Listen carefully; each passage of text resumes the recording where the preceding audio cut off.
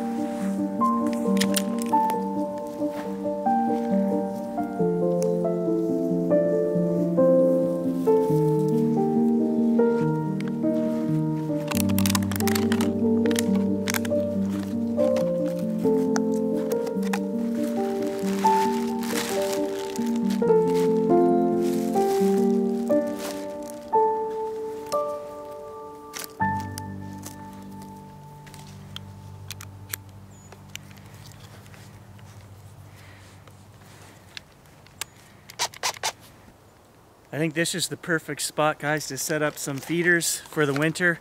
Um, I run trail cameras right here in this clearing, so I'm up here quite a bit with Gage. And we're throwing other food for the foxes and the fisher and the martins. So let's get some bird stuff set up. And that'll just give me another excuse to make sure I come up here every couple of days and feed the birds. And I brought two kinds of seed mixed together here. We're gonna throw some bread around on the ground. And I've actually ordered a hunting blind uh, that I want to use for bird photography. I've got some canvas that I'm going to throw over top of it. And we're going to start utilizing that, moving that around the property and down at the river and see if we can get birds a little easier once they get accustomed to a hunting blind, especially the wood ducks in the spring. Those guys are very finicky and I've never had great luck. So this next spring, you know, four or five months from now, that's what I want to do is utilize a hunting blind. But throughout the winter, we'll use it here on the property and just to get things coming in all the time, we'll set up some feeders for now.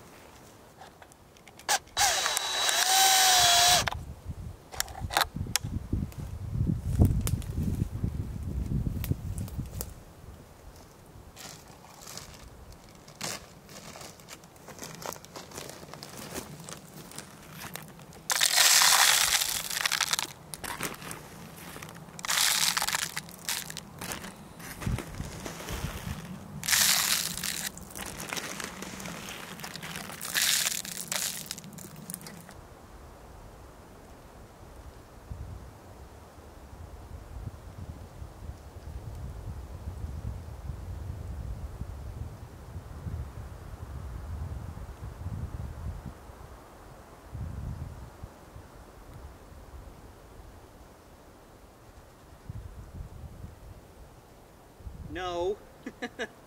no. That's not. Hey. Gage, no. One. Hey. Hey. Sit. Down. Down. Stay. stay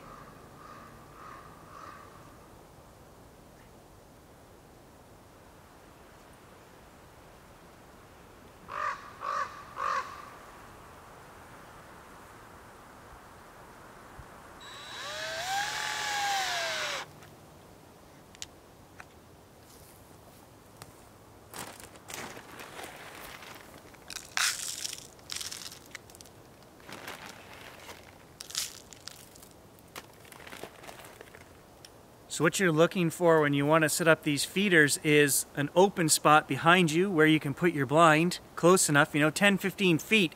Some of these birds are going to be tiny. The second thing is that these trees have lots of perches for birds to land in. I don't want to take pictures of them sitting on the edge of the feeders. I want to take pictures of the birds as they come in and land on the branches all around and it looks very natural. Um, you know, and a side effect of this is that by bringing in these little songbirds or winter birds, chickadees and nuthatches and whatever else, you're going to bring in bigger birds of prey that are going to try to feed on these guys. Unfortunately, that's the way of it. So you may get some shots and you need to have places for bigger birds, hawks and things to land as well.